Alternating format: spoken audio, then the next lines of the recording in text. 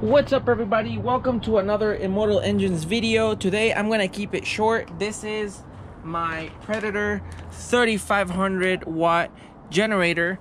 Uh, I have the cover pulled off of this generator because it really needs a valve adjustment. It's not running right and I have a feeling that the valves might be too tight. So what we're gonna do is we're gonna grab an 8 millimeter after we pull the cover of course I, I think that's pretty self-explanatory and we're gonna pull all four of these screws right here. Just like that. And our valve cover should come off. Just like that. I got lucky and my gasket stayed in one piece but yours might not. If it breaks you're gonna need a new gasket. So maybe have a gasket already in hand in case he needs one. Luckily for me, it does not. So, here we have our valves. So I'm gonna teach you something really quick. The valve that's on the side of the carburetor is the intake and the valve that's on the opposite side is the exhaust. Uh, I have a feeling that they're both too tight. So what I'm gonna do is I'm gonna turn the engine to top dead center. You're gonna pull the cord slowly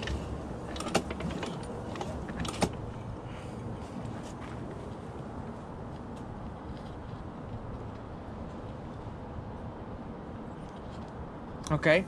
And on the exhaust side you're gonna check it with your feeler gauge on 0.007 or 0.18 millimeters.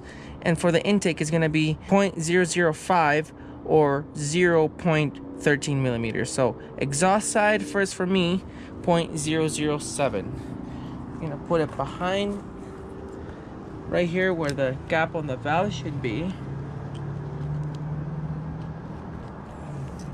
And this one's actually okay. I'm gonna check our intake.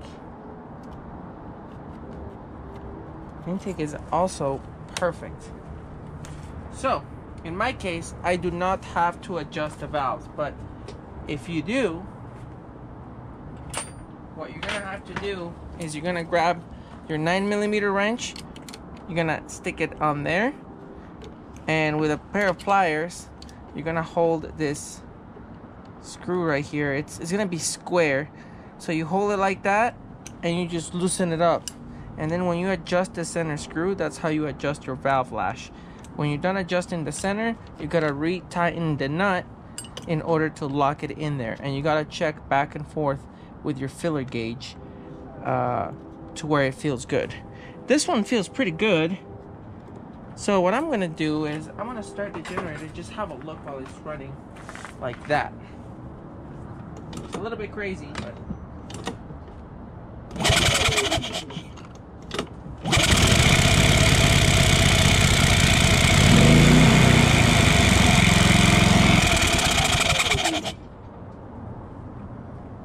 Hmm, I think we got a leaky valve. So just running it like that for a little bit showed me a couple of things. Both are not very encouraging and it does sound like this exhaust valve is leaking.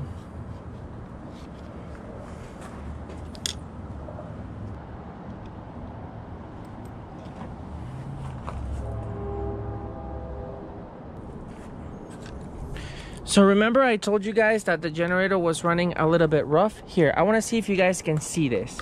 Excuse me for the poor lighting. I don't know if it's to focus, but check this out.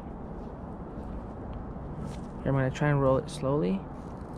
You see that? Low, high, low, high, low. The push rods are bent. And that happens when the valves are too tight from the factory. This is the exhaust one.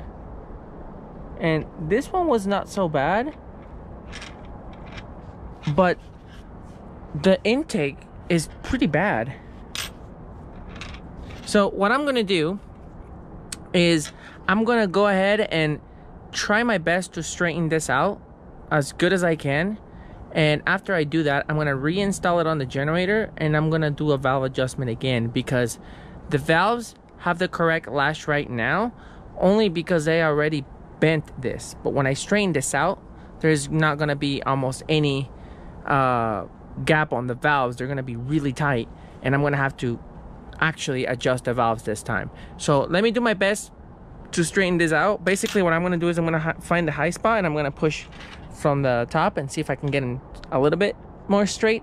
But this is definitely why it's running crappy because it's kind of out of timing, sort of. N not the ignition itself, but the timing of the valves opening and closing, it's delayed by like just long enough for it not to run properly.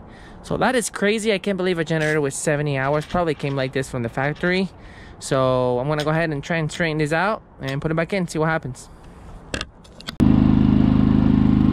Okay guys, so plot twist. I did a little bit of research on this generator and it turns out that they come with a jet that makes them run a little bit rich from the factory and I actually watched a video of another YouTuber I would give you his name but I totally forgot. If I remember I will list it in the video description.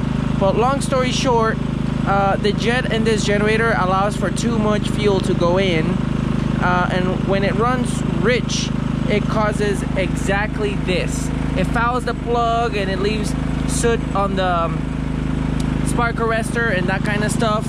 So the jet that is on the generator is a 76. So when you pull the little main jet out, it has a, the number 76 on it.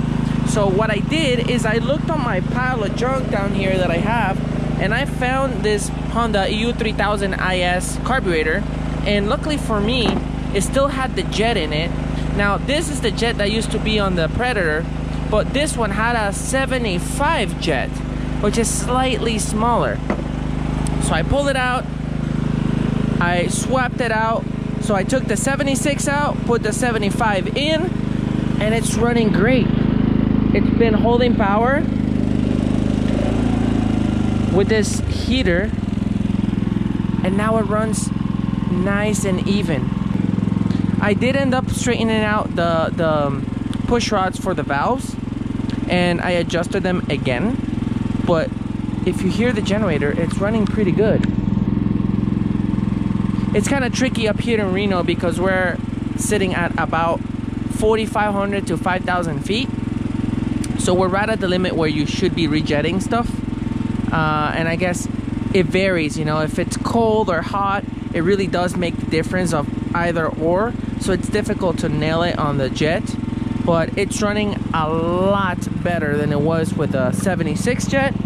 So I'm really happy about that. So what I'm gonna do now is I'm gonna call it good with this generator. I already tested it with a fairly heavy load and it's ran it ran perfectly.